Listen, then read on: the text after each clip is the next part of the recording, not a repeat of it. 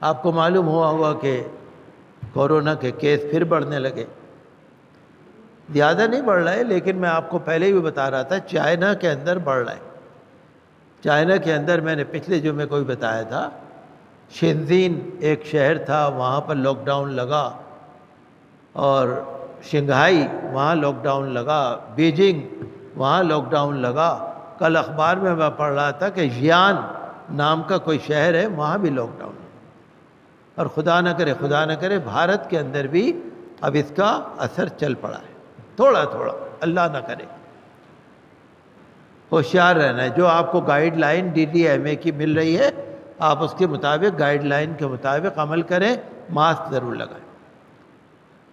आपने सुना ना, दरियागंज जो लाल किले के पास बाज़ार है, वहाँ पर एक स्कूल में कोविड का केस निकल आया। स्कूल बंद कर दिया।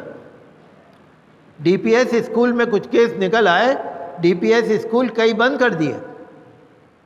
लेकिन हमें बड़ा ताज्जुब है, दिल्ली सरकार ने अभी तक स्कूल बंद नहीं करे। यह हमें बड़ा ताज्जुब भाई, एक स्कूल बंद कर दिया, दो स्कूल बंद कर दिए, चार स्कूल बंद कर दिए तो क्या ये इंतज़ार है कि यहाँ भी कोविड आए?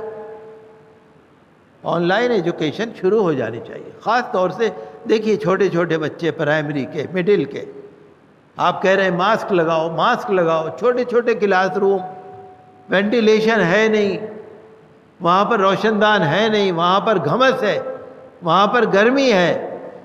और आजकल बुखार वायरल भी फैल रहा है गर्मी की वजह से।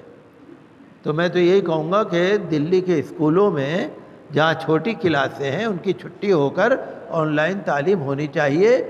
अगर बीमारी फैल जाएगी तो बच्चे बहुत परेशान हो जाएँगे। माँ बाप बहुत परेशान है।